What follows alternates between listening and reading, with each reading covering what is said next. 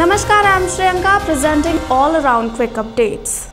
Sri Lanka's President Gotabaya Rajapaksa on Friday declared a state of emergency in the country, giving the security forces wide authority to arrest and detain suspects with immediate effect. Rajapaksa has issued the extraordinary gazette declaring a public emergency after hundreds of protesters gathered in the capital and many of them tried to storm the president's residence to protest against the government for poor management of economic policies which has created mess in the country.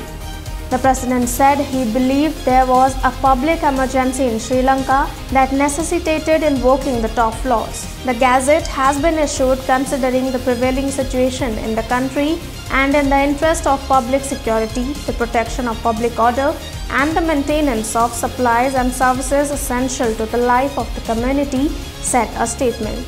That's all for now. For more updates, keep watching Mobile News 24 7.